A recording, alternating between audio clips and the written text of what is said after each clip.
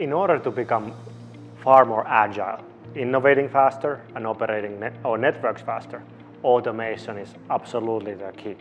We gotta reduce manual touch and automate everything possible. In that scope, this ONAP ecosystem that uh, we are working together with Amdocs is extremely important because ONAP is an automation platform for telcos that helps us to become more agile and reduce our costs. We uh, wanted to establish more of an open ecosystem for this.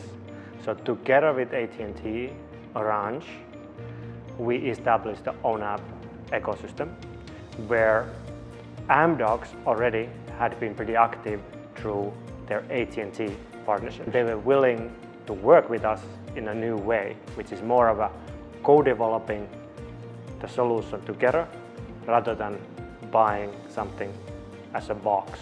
ONAP is not a product, it's a platform. So it requires that everybody is put, putting a little bit effort developing their use cases on the top of that platform rather than waiting that there will be a day when own is suddenly ready to be just consumed off the shelf. It never will be ready because it's meant to be a platform, open ecosystem that you can take as a platform and then you can put your own secret sauce on the top of it and that way you can differentiate with it. The key objectives for us were we need to become more agile in terms of how we innovate and how we operate. We also need to provide customer experience that is, is, is very seamless, very smooth. If they have problems with their services and with their experience, we want to detect those problems before they do. So we are moving from reactive problem resolution to proactive problem resolution.